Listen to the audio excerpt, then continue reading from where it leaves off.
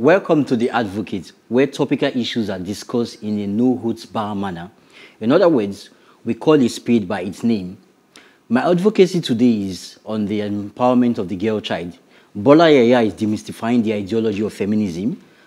Victor talks on entrepreneurship, education, and finally, Dolapo will be talking on the power of leaders of technology. Sit back, the panelists are here to present your Sunday dose of provoking thoughts with no hoods bar after this break. The girl child. Every 11th of October, the world commemorates the girl child, irrespective of their various cultures, race, or background. The world is home to more than 1.1 billion girls under age 18 who are poised to become the largest generation of female leaders, entrepreneurs, and change makers the world has ever seen. Girls are breaking boundaries and barriers posed by the stereotypes of exclusion, including those directed at children with disabilities and those living in marginalized communities.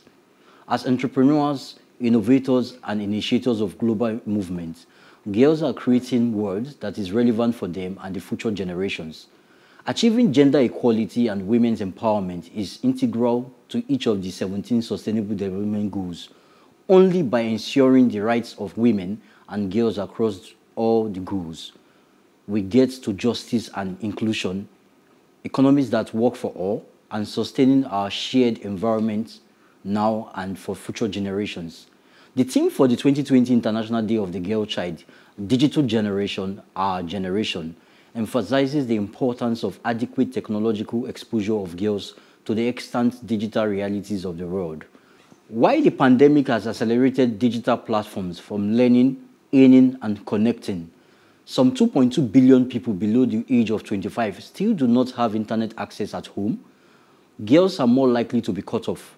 The gender gap for global internet users grew from 11% in 2013 to 17% in 2019. In the world's least developed countries, it hovers around 43%. But the gender digital divide is about more than connectivity. Girls are also less likely than boys to use and own devices and gain access to tech-related skills and jobs. Only by addressing the inequality and exclusion that span geographies and generations can we usher in a digital revolution for all, with all. In order to address the gender divide in digital technical skills from home perspective to global view, the following should be put into consideration proper and adequate education. When you educate a boy, you educate an individual. But when you educate a girl, you educate a generation. Safe environment for girl child to thrive beyond the menace of gender prejudice and gender-based violence. Intentional development for secured future. The girl child is a child in need of adequate nurturing and not a bride. Enhancing security and protection of both the girl child and her neighbor. Well, this month of uh, um, next week we are going to have on Monday the mm -hmm. uh, Day of the Girl Child, International Day of the Girl Child. Mm -hmm. according to what I just read, uh, the theme is on digital generation, our generation. And going to what you have in mind about the recent happening, what do you think about this, the systematic inclusion of women or girls this mm -hmm. time around especially with the recent development from Nigeria where they said persons below the age of 18 will not get access to SIM. So I wonder what will happen to both boys and girls in the university that are 16 and above.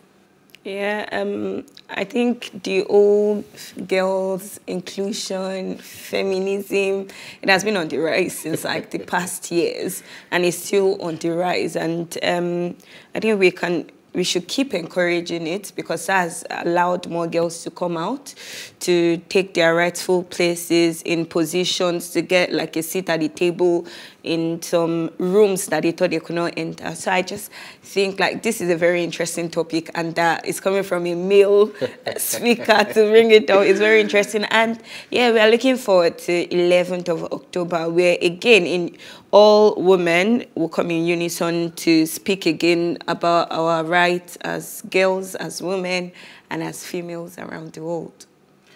All right, thank you. Um, you want to go, um, Bola, ladies first. Victor, if you don't mind.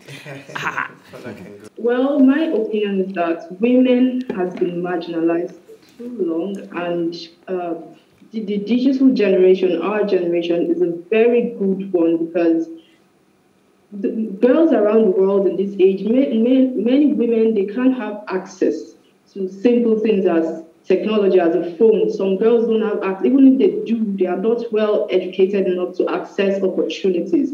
So this topic, the girl, um, the girl child, is is a very unique one, and it will address so many social issues concerning women. No, thank you. Yeah, um, I think, in my own opinion, right. I, I remember a course I took in school.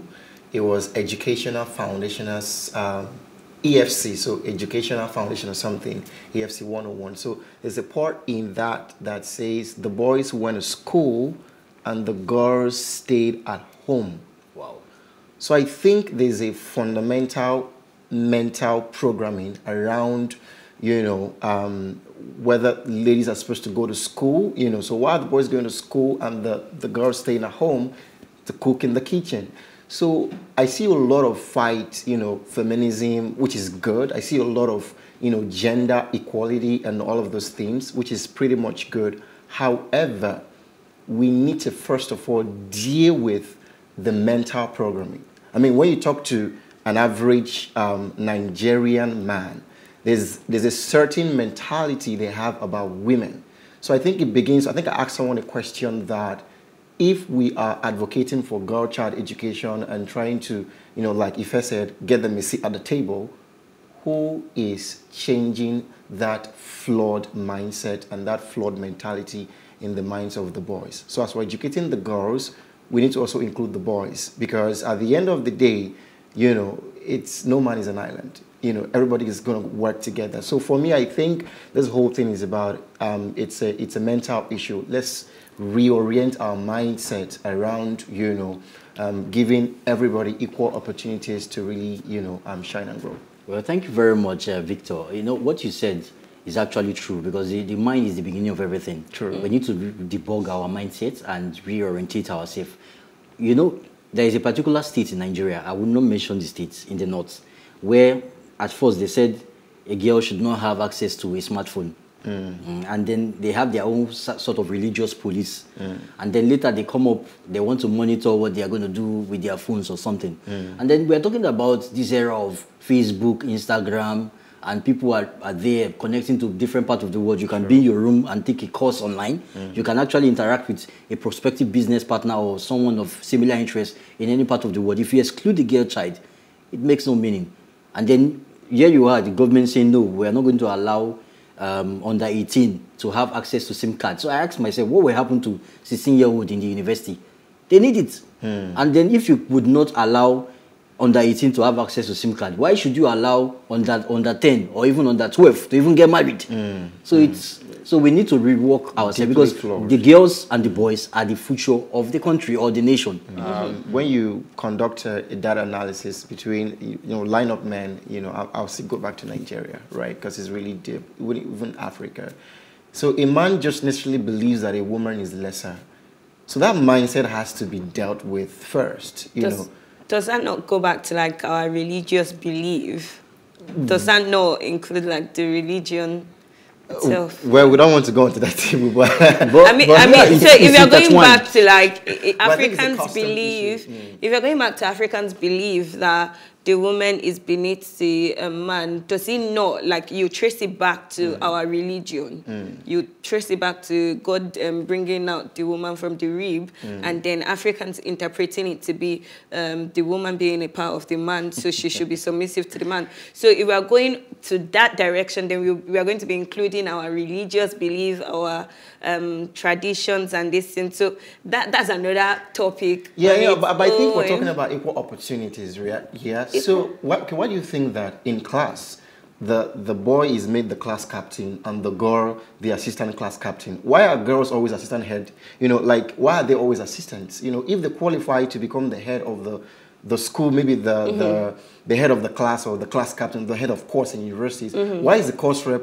almost always guys assistant course reps are ladies. So these are things we need to really deal with. Yeah, I think it also shows itself in like um, the tech world today, where you have two co-founders. The Yeah. the main leader is a guy, and then the um, co-founder is the It's a female. It's the Female woman. are hugely and, and what they say is because um, women are emotional. So when, when we want to make decision or take important decision, we are too emotional to take Then it. let me shock the you. The men are the logical one. That's their reasoning. Let me shock you. In the tech Let me shock you. I actually conducted a research, and, um, and because lately I'm interested in financial trading. And you know, you need in financial trading, you need to use your laptop or basically a computer, Yeah. either desktop or laptop. Yeah. Now, studies have shown that women, there are fewer women that participate in financial trading. Yeah. These few women globally, they do better than the men. The studies are shown. So, being good at any form of career or being technically inclined has no business with gender. It's important to note that girls and women should be given access to necessary education, technical skills, and career opportunity for them to grow and also create and make the world a sustainable place for all. Up next is Bola Yaya. Stay with us. Thank you.